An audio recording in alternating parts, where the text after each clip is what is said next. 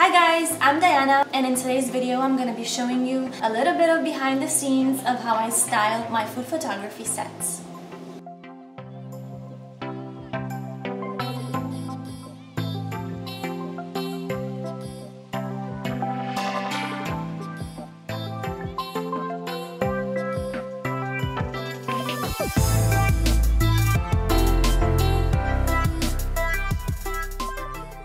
So as usual, I'm shooting in my living room with natural light coming from a window. I took these pictures on a late afternoon at around 3.30 p.m. So I had a very soft light coming from the window with no strong highlights, so I didn't have to use a diffuser at all.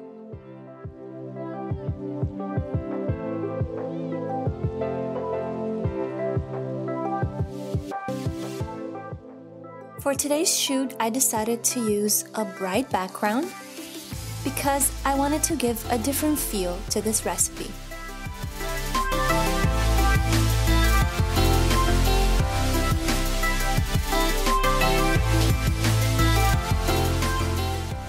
And also, as you can see, there are some blue tones in my background, and that creates a contrast between the persimmons that are orange and the blue.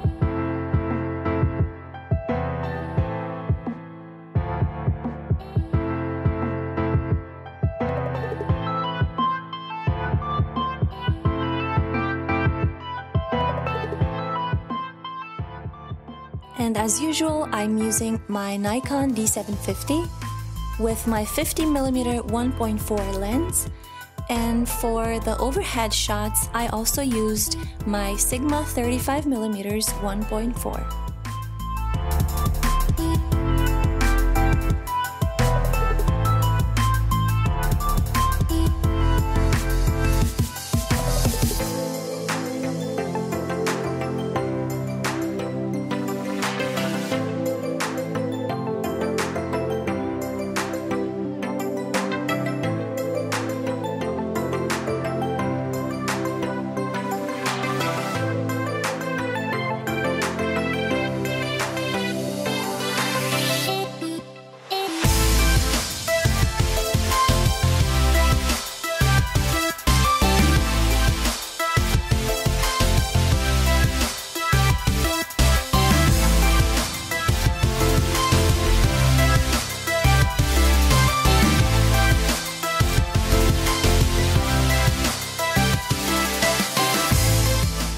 So thank you so much for watching. I hope you enjoyed it.